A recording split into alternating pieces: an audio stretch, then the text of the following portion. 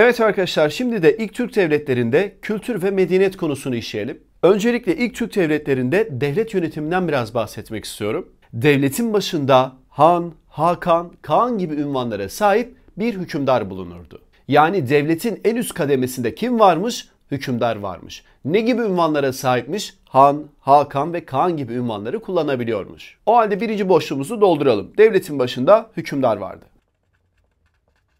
Ayrıca ülke hükümdar ve ailesinin ortak malı sayılırdı. Peki ülke hükümdar ve ailesinin ortak malı demek ne demek? Ne anlama geliyor? Şimdi diyelim ki ülkenin başında bir hükümdar var ve hükümdar öldüğünde onun ailesinden ya da o kandan, o hanedandan birisi onun yerine geçebiliyordu. Biz bu duruma ülke hükümdar ve ailesinin ortak malı diyoruz. Demek ki hükümdar öldüğünde aynı kanı taşıyan, aynı sülaleden olan bir başka birisi hükümdar olarak başa geçme hakkına sahipmiş.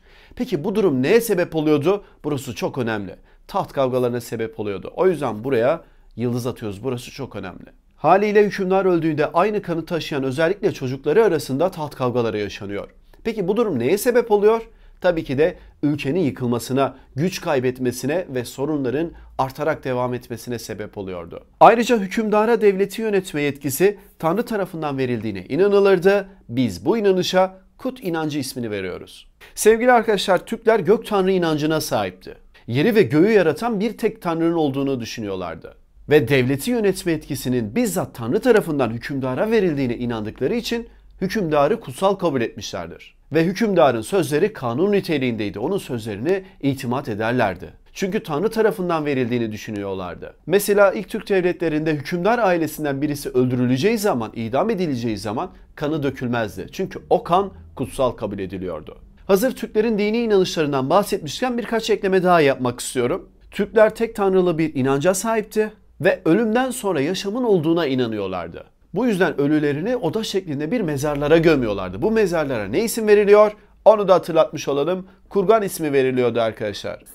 O halde ilk Türk devletlerinde ahiret inancının göstergesi nedir gibi bir soru gelirse cevabımız tabii ki de kurgan olacakmış. Yani oda şeklinde mezarlardı. Ölüleri bir oda gibi bir yere gömüyorlardı. Yanına da lazım olabilecek eşyaları koyuyorlardı. İşte atını koyuyor, kılıcını koyuyor, kalkanını, kıyafetlerini. Bir gün dirildiğinde tekrardan bu kıyafetleri, bu eşyaları kullanacağı düşünülüyordu. Ayrıca ilk Türk devletlerinde ölen kişinin ardından bir ağıt düzenlenirdi. Ağıt töreni düzenlenirdi. Biz bu törene ise Yu törenleri ismini veriyoruz arkadaşlar. Ayrıca Türkler mezarların etrafına ölen kişilerin öldürdüğü düşman sayısı kadar taş koyarlardı ve bu taşlara ise balbal ismi verilirdi. O halde 3 tane kavramdan bahsettik.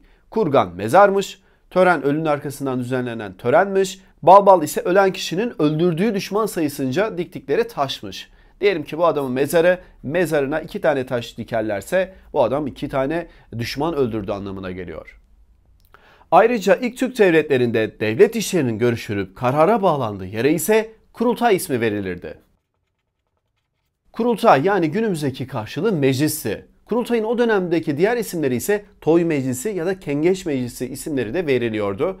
Onları da unutmayalım. Günümüzde neye benziyor? Tabii ki de Türkiye Büyük Millet Meclisi'ne kısmen benziyor. Öncelikle kurultayın özelliklerinden bahsetmemiz gerekirse kurultay danışma niteliğinde bir meclisti. Peki biz kurultayın danışma meclisi mi yoksa karar meclisi mi olduğunu nereden anlayabiliriz? Şimdi arkadaşlar o dönemde hükümdar meclisi toplayabiliyordu. Meclise Kaan, Hatun, Aygücü, Boy ve Boy beyleri gibi kişiler katılabiliyordu. Ve burada devlet meseleleri görüşülüyordu. Diyelim ki bir devlet meselesi görüşüldü, savaş konusu görüşüldü, savaş yapalım mı yapmayalım gibi bir oylama yapıldı.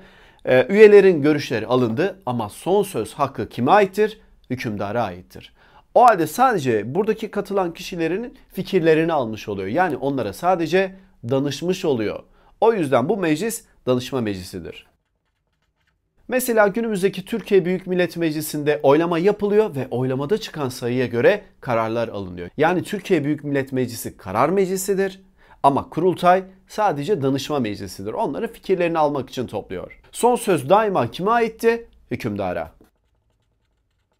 Ayrıca ilk Türk devletlerinde ikili teşkilat da uygulanırdı. Şimdi diyeceksiniz ki hocam ikili teşkilat ne demek?